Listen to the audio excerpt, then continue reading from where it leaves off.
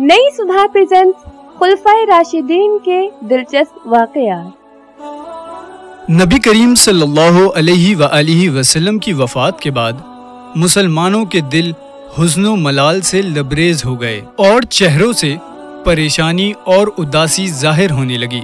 इस गमखेज फिजा से निकलने के लिए हज़रत अबू बकर सिद्दीक रज़ी अल्लाह तहों ने हज़रत उमर बिन खत्ताब रज़ी अल्लाह तहों से फरमाया, चलो उम्म एमन रज़ी अल्लाह तहा के पास चलते हैं, उनकी जियारत करते हैं। जैसा कि रसूल अल्लाह सल्लल्लाहु अलैहि वसल्लम किया करते थे। जब वो दोनों हजरात उम्मे एमन रज़ी अल्लाह तहा के पास पहुँचे तो दौरान मुलाकात उम्मे एमन रज़ी अल्लाह तहा बहुत ज़्यादा रोने लगी।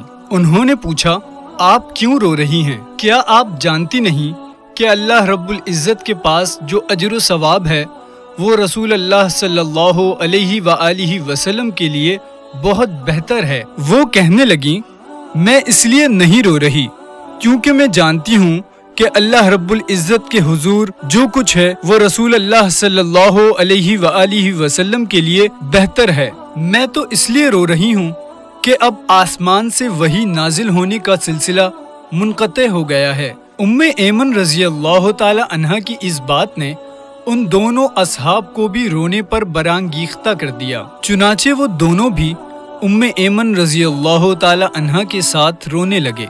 मिशकातुल मसाबिह।